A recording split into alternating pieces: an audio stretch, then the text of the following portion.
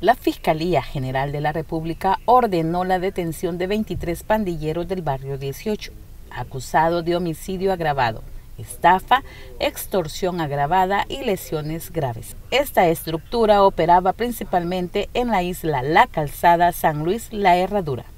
Los allanamientos fueron realizados en San Pedro Mazaguat y La Herradura, en La Paz también en Cuscatancingo y Ayutuxtepeque de San Salvador. A cabo la Fiscalía General de la República, Oficina de Zacatecoluca, un operativo en el cual se han girado 23 órdenes de detención administrativa. Los delitos de homicidio, homicidio agravado, tentado, estafas, extorsiones, lesiones graves. Estos sujetos que son miembros de la pandilla 18 estaban extorsionando a un señor que vive en la isla La Calzada, exigiéndole la cantidad de 500 dólares, amenazándolo que en caso de no entregar el dinero, pues iban a atentar contra su vida o la vida de sus familiares, incluso eh, amenazándolo con violar uno de sus familiares cercanos. Hemos girado nueve órdenes por el delito de estafa y se sigue dando la modalidad a través de las redes sociales.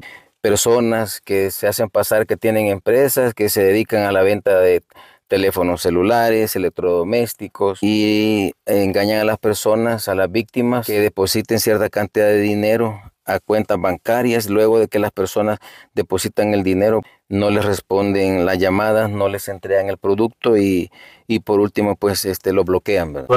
Las investigaciones determinaron que estos sujetos llegaron a la vivienda de una de sus víctimas y le exigieron 500 dólares a cambio de no atentar contra su vida y la de su familia.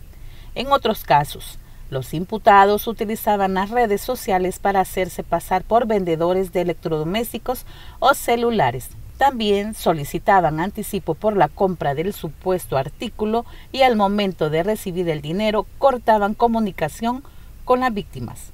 Con estas acciones se han resuelto nueve casos de estafa.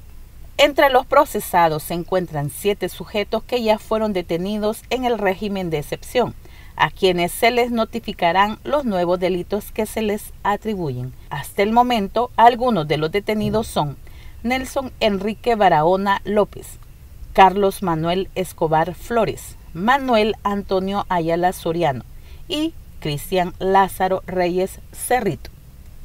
Para ITV Noticias informó Eva Constanza.